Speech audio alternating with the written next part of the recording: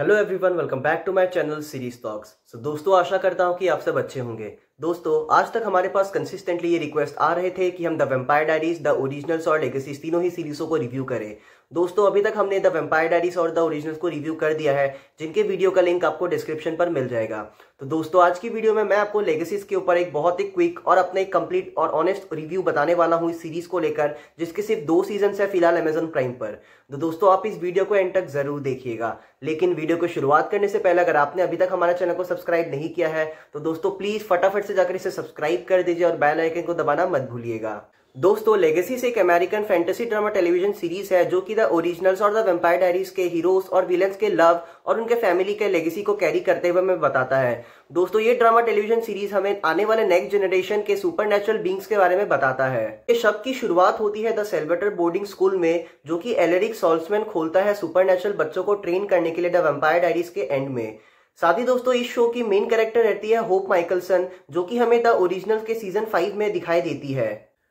दोस्तों लेगेसीज के फ़िलहाल सिर्फ़ दो ही सीज़न है और हर सीज़न में आपको करीब 16 एपिसोड मिलने वाले हैं, जिसकी लंबाई करीब 40 टू 42 मिनट्स की होने वाली है। दोस्तों, एक बहुत बड़ी खुशखबरी बताओ तो इस शो का जो तीसरा सीज़न है, वो बहुत ही जल्दी ऑफिशियली जनवरी 21 2021 में प्रीमियर करने वाला है। दोस्तों लेगेसीज आपको अमेजोन प्राइम पर मिल जाएगा। सारे माइकलसन खानदान के खत्म हो जाने पर होप माइकलसन एलेरिक सॉल्समैन की स्कूल में आ जाती है, जहाँ पर ऑलरेडी एलेरिक की दो ट्विंस बेटियाँ भी रहती है, जो है लीजी सॉल्समैन और जोसी सॉल्समैन जो कि हमें already the Vampire Diary series में दिखती है। और ये दोनों भी इस सीरीज़ के बहुत ही ज़्यादा इंपॉर्टेंट कैरेक्टर्स है। Hope Mikaelson, Alaric Saltzman Josie Saltzman और लीसी सॉल्समैन के अलावा और भी बहुत सारे इंपॉर्टेंट कैरेक्टर्स आपको इस शो में नज़र आने वाला है, जो है लैंडन कर्बी मिल्टन राफायल और केलब तो दोस्तों, इस शो में ये सभी मिलकर नए नए सुपर नेचुरल बींग से लड़ते हैं और अपने स्कूल को प्रोटेक्ट करते हैं इन सभी चीज़ों से।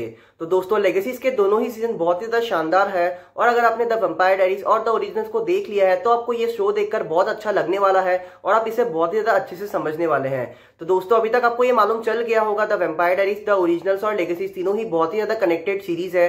और अगर आपको इनके कनेक्शन के बारे में और ज़्यादा डिटेल में जानना है तो मैंने ऑलरेडी एक वीडियो बना रखा है लिंक आपको डिस्क्रिप्शन पर मिल जाएगा।